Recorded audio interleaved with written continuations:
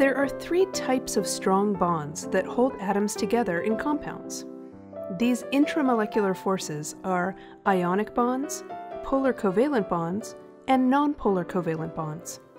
You can think of these three types of bonds lying on a scale of unequal sharing of electrons. Ionic bonds have the most unequal sharing, with one ion having a full negative charge, with one or more extra electrons, and the other ion being fully positive, since it has lost an electron or two. Polar covalent bonds have more equal sharing of electrons, but one atom keeps the electrons more towards their side of the bond than the other. And nonpolar covalent bonds are between atoms that more or less equally share their electrons. This video will talk about the relative strengths of these three types of bonds. Remember, an ionic bond is formed from the electrostatic attraction between two oppositely charged ions, an anion attracted to a cation. Covalent bonds, on the other hand, involve sharing of valence electrons. The shared electrons spend part of the time next to one of the atoms in the bond and part of the time next to the other atom. In a polar covalent bond, the more electronegative atom gets more of the electron's time, in a nonpolar covalent bond, the electronegativities are very similar and the electrons are shared equally. Do we know which is stronger, ionic or covalent bonds? It seems a simple question, but there is not one simple answer. One way we might determine the strength of a bond is by measuring how much energy is required to disrupt it.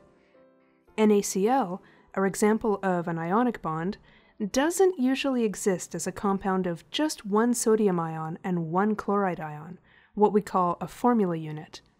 Sodium chloride typically exists as a lattice of many atoms.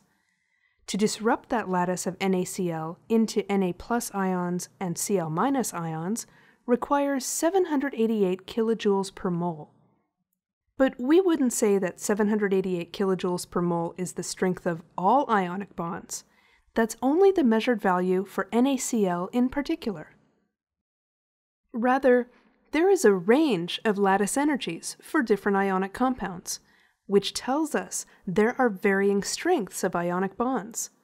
This has to do with the charge of each ion, which determines the strength of the attraction, and the radius of each ion, which influences how closely can the ions be held together. In general, higher charge and smaller radii lead to stronger bonds. For instance, sodium iodide, NaI, made of Na plus and I minus, has a lattice energy of 682 kilojoules per mole.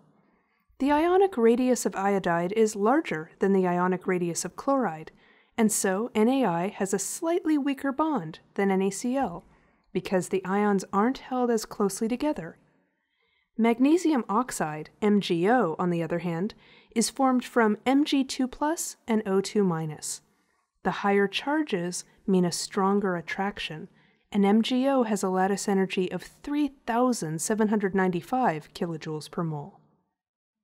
Covalent bonds also vary in their strengths. Again, we can compare these bond strengths by measuring the energy required to break the bonds. We call these bond enthalpies in the case of covalent bonds, and just like for lattice energies in ionic compounds, bond enthalpies for covalent molecules are influenced by such factors as the distance the atoms are held from each other and the differences in their electronegativities.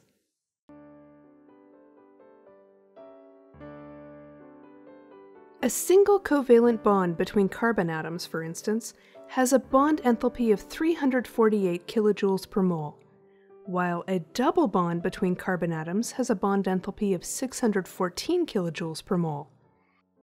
Double bonds, where atoms share two pairs of electrons, are shorter and stronger than single bonds. Triple bonds are shorter and stronger still.